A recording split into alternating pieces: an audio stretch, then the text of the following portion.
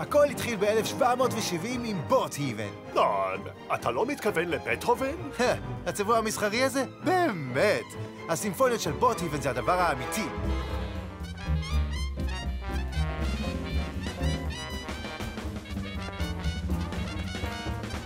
ונעבור לאמצע שנות ה-20 למאסטר אלתורי הג'אז, דייב דידלי דו האפ דיווידסון. יפה מאוד, קול ג'ו. הפכת הרגע את המוזיקה לבור דידלי דוב משעממת. אתה הכי צריך להקשיב, אלמת הדור. שמעתי אותך שר.